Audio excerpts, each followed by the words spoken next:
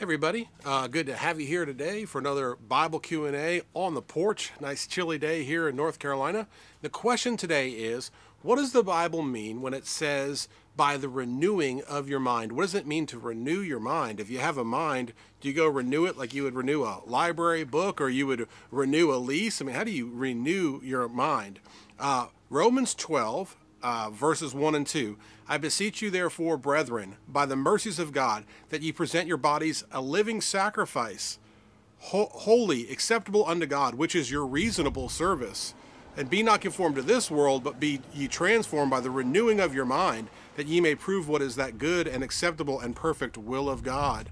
So here we see in Romans 12, Paul is asking the brethren, those that are saved, uh, by the mercies of God to present themselves as a living sacrifice. Well, what does that mean if you're alive and you're a sacrifice? That means that you are crucifying the flesh. You are crucifying those desires in your life that are sinful, that are not godly, and you are pursuing the things of God. You're pursuing God's ways instead of your ways. You have to understand first that man's ways are at odds with God. Uh, enmity is the Bible word, which means like warfare. And so man's ways are at odds with God. Man naturally doesn't want to do what God wants or needs him to do to be holy. So man has to decide in their mind, by renewing their mind, to live for Christ. That means to die to self.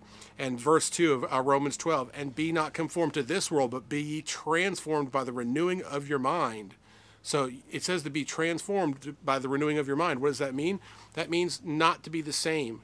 And so when we renew our mind, what it's really saying is that we change the way that we think, to change the way that we look at how uh, the world works and how we fit into it. And no longer do we look for things for self gain or things for worldly pleasures or worldly ac- accomplishments or whatever it is, but we change by the living sacrifice within us uh, to be more like God. And you say, Brother Clark, that's really hard. How am I going to do that? Good news, you don't have to do it alone. God will do it with you. God will co- come before you, as the Bible says, and will help you and make a way for you if you're willing, if you're willing to renew your mind. That's why Paul is asking them. He says, I beseech you. He's like begging them, saying, Look, brothers in Christ, those that are saved, change your ways. Don't go about living like you did before you were saved. You're a Christian now. You need to live differently. You need to renew that mind and you need to live for the ways of Christ. And you say, well, what's what does the Bible say about how God's going to help me or go before me? I've heard this. What does that mean? Well, when you get saved, you have the Holy Spirit working within you. Uh, and the Holy Spirit, you don't want to grieve the Holy Spirit. That's when you're sinning and stuff. You grieve the Holy Spirit and you don't want to quench the spirit. That's when you're getting on fire for God and say, Oh, I better calm down.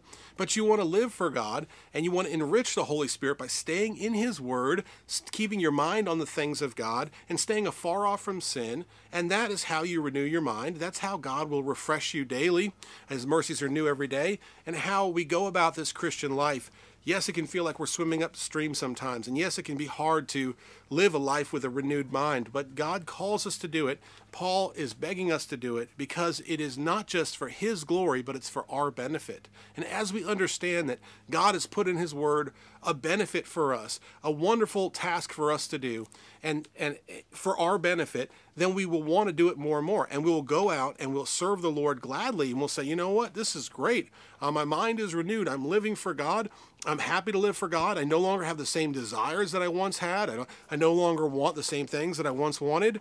Uh, all I want is Christ to be glorified. And that's the idea in Scripture when I believe it's in James, uh, it mentions that uh, we, we live perfectly wanting nothing. And so you may say, well, I, I didn't start out the day wanting nothing. But the idea is you can have peace in your heart that you won't want anything else besides Jesus.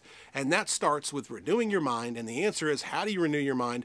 You turn towards the ways of God once you've been saved. You enrich the Holy Spirit, not grieve it, and you live for Him. And He, through the working of the Holy Spirit, uses you and empowers you and your mind to do great things for Him and to live as He wants you to live. And by the way, that's the most joyful way to live. So it's a double purpose or double benefit. I hope this was helpful. Thank you for tuning in, and I'll talk to you soon.